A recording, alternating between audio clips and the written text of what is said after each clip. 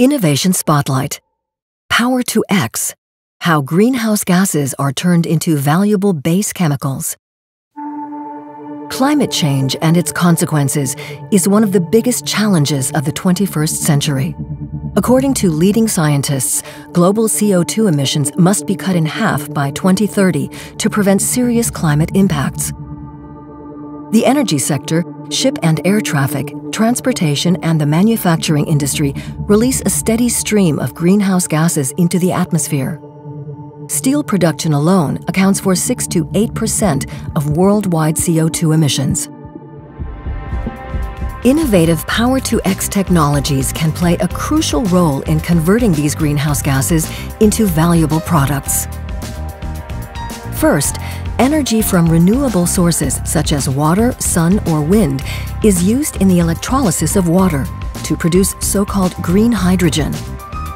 With the help of catalysts, this hydrogen then reacts with carbon monoxide or carbon dioxide from industrial gas emissions or nitrogen from the air.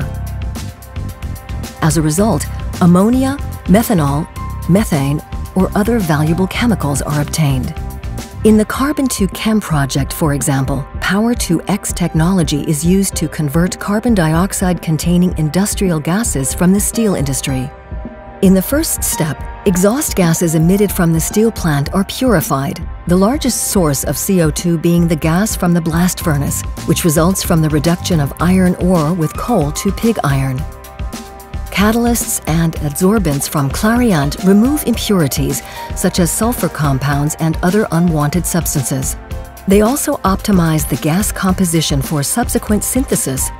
For example, a synthesis gas consisting of carbon dioxide, carbon monoxide, nitrogen, and green hydrogen can be used for methanol production.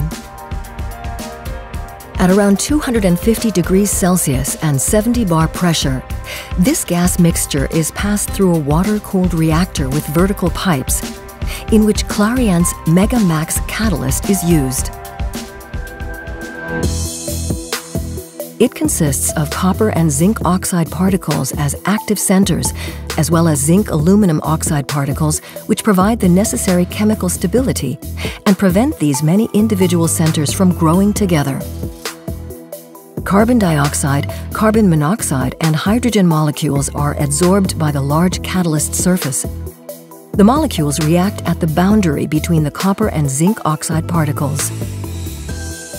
The zinc oxide particles and copper atoms act together and reinforce each other's activity.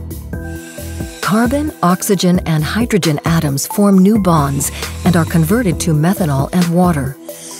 After this, the newly formed molecules detach from the catalyst surface. The methanol obtained this way is used for many purposes in the chemical industry and can serve as low-emission fuel for more sustainable modes of transport.